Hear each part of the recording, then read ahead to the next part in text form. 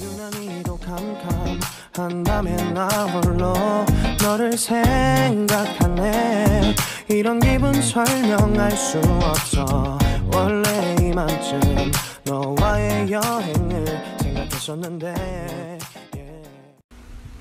Hello, everybody. Welcome to Sir Chua's Accounting Lessons PH and welcome to Sir Chua's Accounting Lessons PH College Edition. We are now opening Sir Chua's Accounting Lessons PH for college level lessons. And for our very first video for the college edition, we will have a subject orientation for Intermediate Accounting Part 1. At the end of the video, you should be able to have a basic understanding of the purpose of this subject and enumerate the lessons and topics covered by the subject Intermediate Accounting 1. Don't worry po sa ating pong mga subscribers ng Sir Chua's Accounting Lessons PH for the senior high school lessons. Tuloy-tuloy pa rin po ang ating lessons for fundamentals of ABM Part 2. Doon naman po sa senior high school students who are uh, rooting for FABM 1, tapos na po siya. Meron na po, you can visit lesson 1 to 33 and then sa mga nasa FABM 2 naman po ay nangangalahati na po tayo dun sa video. Tapos na po yung statement of cash flows. And for college students who is who are first timers in Sir Chua's Accounting Lessons PH, welcome and uh, again this is intermediate accounting part 1. So this is our orientation for this subject. Maraming salamat po sa lahat ng patuloy na sumusuporta sa Sir Chua's Accounting Lessons PH.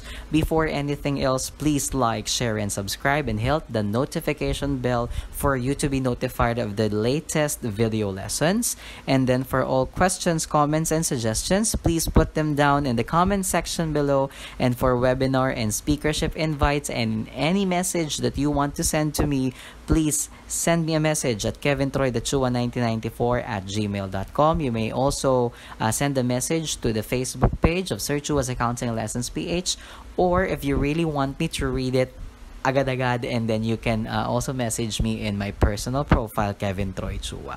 Okay, so thank you po for your outmost support. So uh, papakita ko lang po sa inyong college students yung mga nangyayari na po sa senior high school.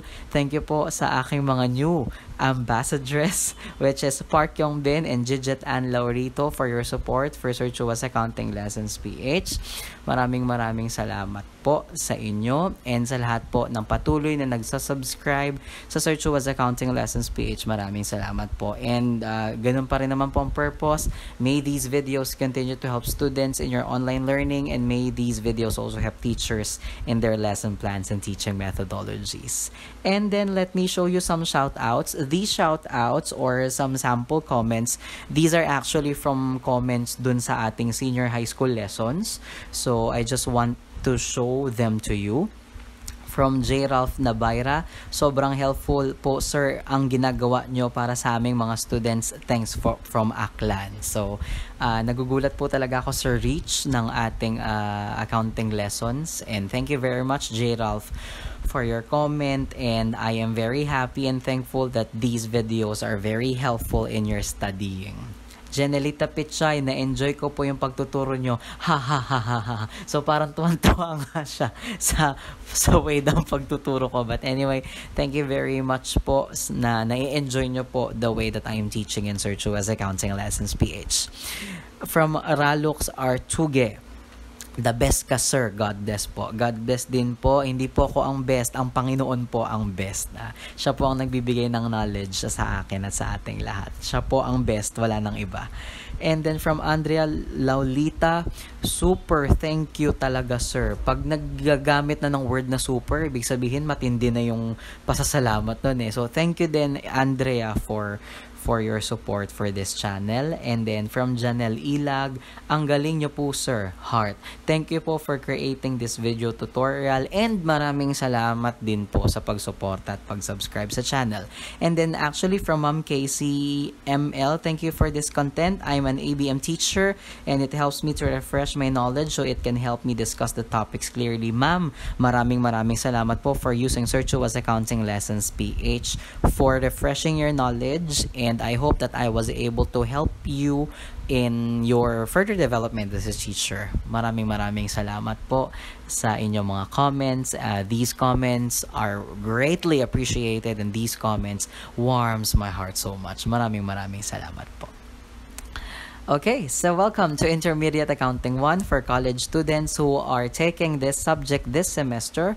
Welcome po sa Intermediate Accounting 1. Okay, so this subject is formerly called the Financial Accounting and Reporting Part 1. Okay, but the content did not change. This course will discuss the generally accepted accounting principles underlying assets. So in the whole Intermediate Accounting Part 1, we will just be talking about assets. Nothing more, nothing less. Okay, this course will discuss the proper recognition, measurement, and reporting of assets in the financial statements. So, in senior high school or in your basic accounting subjects, you have talked about the financial statements as a whole, how to prepare these financial statements in its totality. Now, here in Intermediate Accounting 1, we will just be focusing on assets and we will be talking about assets one by one, line item by line item. To give you a historical background, background of what intermediate accounting one, let me first show you the comparison of the previous curriculum and the new curriculum or the previous syllabus of the CPA board exam and the new one. Okay. Nung kapanahunan po namin, the CPA board exam has the subject Practical Accounting Problems 1 and it covers the subjects Principles of Accounting and three parts of Financial Accounting and Reporting. Financial Accounting and Reporting Part 1 talks about assets. Financial Accounting and Reporting Part 2 talks about liabilities, equity, and other topics. And Financial Accounting and Reporting Part 3 is the college level constructive accounting. Yung senior high school po na dinidiscuss lahat ng financial statements, mas in-depth discussion po ng construction ng financial statements ang nasa Part 3. Kasama po ng other lessons like earnings per share, single entry system, cash to accrual basis of accounting. Kaya po siya tinawag na constructive accounting. It's more of calculation. It's more of constructing accounts. It's more of constructing financial statements. Kaya siya tinawag na constructive accounting. Now, in the new CPA board exam syllabus, Practical Accounting Problems 1 is now renamed as Financial Accounting and Reporting and in the new curriculum for college students as mandated by the Commission on Higher Education, Financial Accounting and Reporting covers these subjects. Financial Accounting and Reporting which covers your fundamentals and then siguro dito tapos na kayo kasi nasa intermediate part 1 na kayo or sa ibang school pinagsasabay ito. Conceptual Framework and Accounting Standards and then Intermediate Accounting Parts 1, 2, and 3. Hindi rin po nagbago ang content ng Intermediate Accounting 123 sa dating Financial Accounting and Reporting Part 123 nagkaroon lang ng restructuring kasi more of the theories are already discussed in conceptual framework and accounting standards. And conceptual framework and accounting standards is an introduction of all of the financial accounting accounting standards. Okay? Para hindi na kayo nabibigla sa mga accounting standard na dinidiscuss sa inyo sa mga susunod na intermediate accounting. So where are we now? We are here. Intermediate accounting 1. Okay? So that's the placement of um, uh, our subject in the CPA board exam syllabus. Okay, so uh, these are the recommended textbooks to use uh, for your study of uh, intermediate accounting part 1 we have numerous authors and i am recommending three of them. So you can have the book of valix peralta and valix conrado t. Valix jose f. Peralta and christian aris and valix You can also look for the book of Robles and Empleo, Ninita S. Robles and Patricia M. Empleo. Um, Ninita S. Robles is my professor in financial accounting and reporting when I was in the undergrad. And uh, Dr. Patricia M. Empleo is the current Dean of the College of Accountancy, Alfredo M. Velayo College of Accountancy, and the University of Santo Tomas. And then we also have an intermediate accounting part 1 textbook by Professor Zeus Vernon B. Millan. By the way, Valix Peralta and Valix are from, um, ah, no, sorry, Valix and Valix uh, from the CPA Review School of the Philippines, the review school for mga magte-take ng CPA board exam. Ayan. Okay? So if you, so you will be hearing Valix, Robles, Empleo, and Milian a lot. So if you can buy all those three textbooks para you can, it can give you more knowledge and more perspective. You can see the differences in these three textbooks, then much better. Okay? So let's have the grading system. Wala po kayo di-discuss the grading system dito. Okay? Please check your school's course syllabus for the subject uh, sorry, please check your your school's course syllabus for this subject for the grading system. Now, for those who are under me in this subject, this will be sent to you as a separate message in our sections group chat. Okay, so lahat po ng handle ko ay group chat po tayo. Wala po tayong um, i-discuss dito kasi this is a general video for everybody who's uh, watching this in YouTube. So those who are handled by Sir Chua in in the school where I'm teaching at, you can I will be sending you the the details in our group chat. Yun po. Okay, thank you very much. Okay, so at a glance, we will be covering the following topics to complete uh, intermediate accounting part 1. We have cash and cash equivalents, receivables, inventories, property, plant, and equipment, intangible assets, investment in equity and debt securities, investment property and other non-current assets, and biological assets. Okay, so eight main topics pero maraming subsections yan. Now, most of the account titles there are actually introduced to you in senior high school already. But the purpose of Intermediate Accounting 1 is to dig deeper to them one by one. Ano bang laman ng cash na nire-report sa Statement of Financial Position? How do we record? How do we recognize? How do we measure inventories? At the end of the period, how much should inventories be presented in the financial statements? What are intangible assets and what is the difference between a copyright and a trademark? What are investments in equity securities and why do we have the word debt when we're talking about assets? What are debt securities? Okay? So we will be talking about them in deep detail one by one now, for cash and cash equivalents, we will be talking about how to properly present cash and what are the cash items that should be reported in the balance sheet. And then we will be tackling also some uh, cash management techniques and internal control. Paano kayo hindi mananakawan ng cash? And then the petty cash fund, bank reconciliation statement, and the four-column bank reconciliation statement, which is called the proof of cash. For receivables, we'll be talking about the proper presentation of receivables in the balance sheet, how to properly uh, measure, recognize, and measure them, and then how do we measure receivables subsequently. And then we'll also be talking about notes receivable, loans receivable, and different kinds of receivable financing. For inventories, we'll be talking about how to properly compute and what to recognize as cost of inventories and what shall be included in the book of accounts as cost of inventories. We will also be talking about different inventory costing methods like specific identification method, first in, first out, weighted average, and moving average method. And then some inventory valuation methods like gross profit and retail method, and the proper presentation of inventories in the balance sheet, which is lower of cost and net realizable value.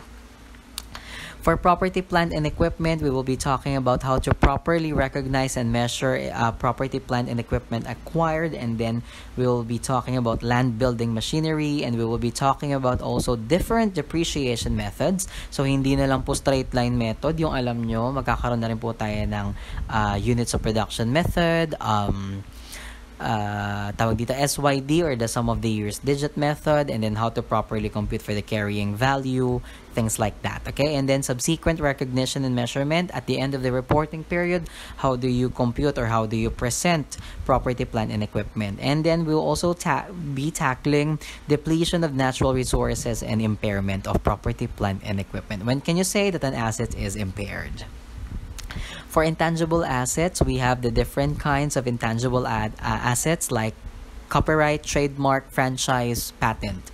And then how do we recognize and measure them? And then how do we subsequently measure them and present them in the financial statements? And how do we do the amortization and compute for the carrying value of these intangible assets. Investment in equity and debt securities will be talking about different financial assets at fair value through P&L, uh, FAFB PLOC, uh, sorry, FAFBOCI, and then financial assets at amortized cost. Dito rin po natin ipapasok yung investment in associate wherein a company owns 20% or more of the voting rights in a company which exercises significant influence. Diyan din po natin yan i-discuss. Then we also have investment property and non-current assets. How do we properly re- recognize and measure investment properties and then the subsequent measurement of investment properties. And we will be also tackling about other non-current assets that should be reported in the balance sheet.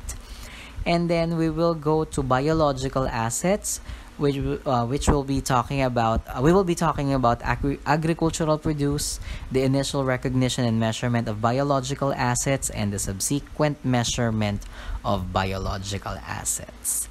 Okay, so I think that's everything. So uh, again, please like, share, and subscribe to Sir Chua's Accounting Lessons PH.